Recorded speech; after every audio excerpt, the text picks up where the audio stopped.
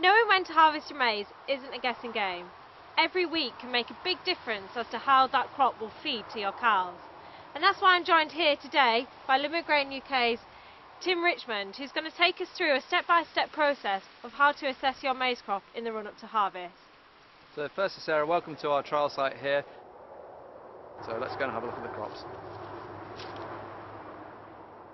So in the, in the run-up to harvest, Tim, how should growers go about assessing their crop?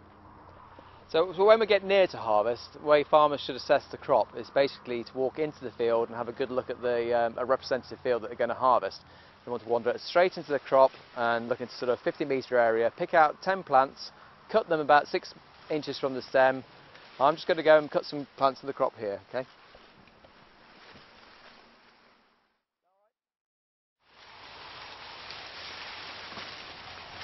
So what are we looking for in these plants then?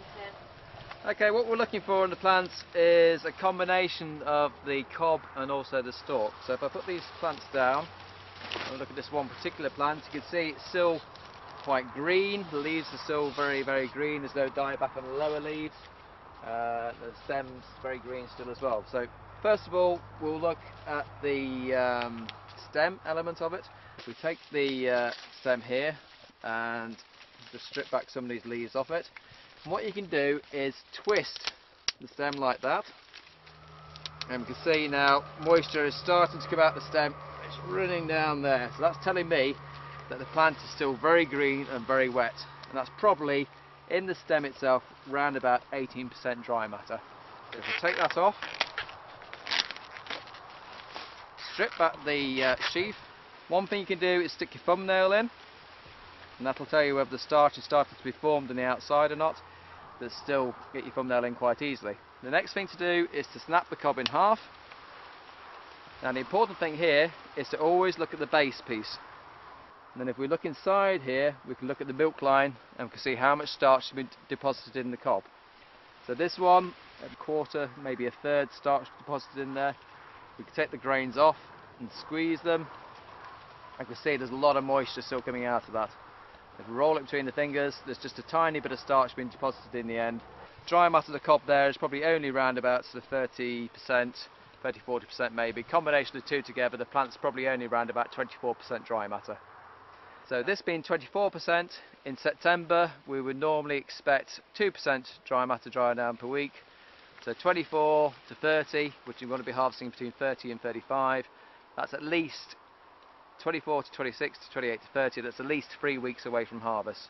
Okay, well this crop is uh, slightly more advanced than the previous one we went into.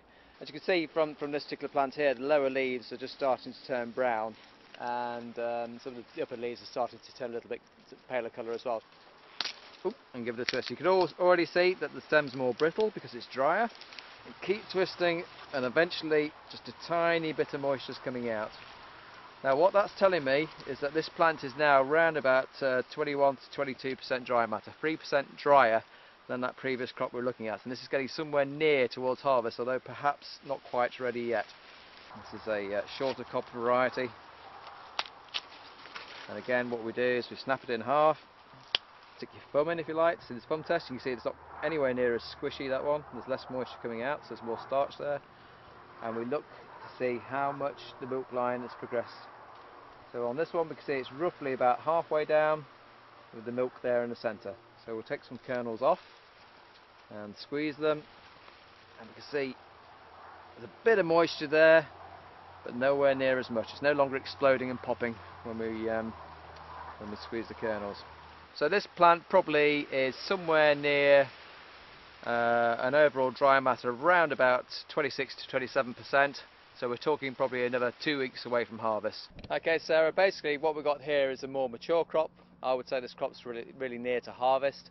What I want to do is just wander in and uh, get a few plants again and have a look at them. You can see, looking at the plants, uh, the leaves are starting to change colours, yellowy in the, in the, in the colour, and I suspect it'll be a dry crop, but we'll, we'll just check and see. Okay, we'll go now. So we can see here that we've got um, some more sort of drier plants. You see the lower leaves have gone brown and started to die off. The sheaths on the cobs are starting to go paler colour and uh, as we talked about earlier, the, the upper leaves are starting to turn a yellowy colour as well. Keep twisting, and you can tell there's just hardly any moisture in there at all, just the tiniest bit. Now you don't want it too woody, and you don't want it to sort of be too lignified, because that's going to take uh, nutrients away from the uh, silage. So I would say that was just about ideal. So probably around about sort of um, 23 to 25% dry matter in the actual stem itself. So we'll take the cob off here and we'll have an assessment to see how well the cob has dried down and how much starch has been deposited in the kernel. So strip it back.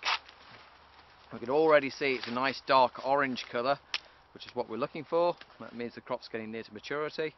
It's a nice well um, pollinated plant, all the kernels are filled. Often there's very few at the tip. We'll just break it in half again. You feel the, the, the kernels are a little bit looser on the cob, that's a good sign. And we can see again, we want to discard that top part which is all orange and look, at the base. So immediately we can see there, the, uh, the top is sort of glassy. You can see that sort of, sort of glossy appearance. That means that the, the uh, it's getting quite hard. The starch can hardly get your fingernail into it and you can see that the milk line has progressed quite a long way down now. That's at least three quarters filled, if not uh, getting getting on to fully filled. So we'll take some off and squeeze them and see if there's any milk left in there. So there we go. Squeeze. I'm having a job to get anything out of that at all. Break it in half, and we can see